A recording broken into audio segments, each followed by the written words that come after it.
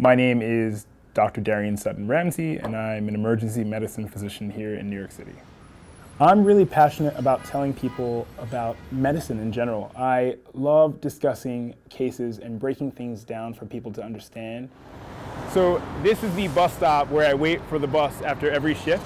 And for me, it's a place where I think about a lot of the patients that I saw today and the cases that I saw.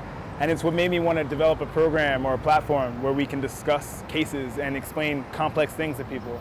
And for me, when I talk to people, I like them to realize that they, you can talk to a doctor about things that are stressing you out, um, and that we also are here to take care of you. And so I don't ever want people to forget that.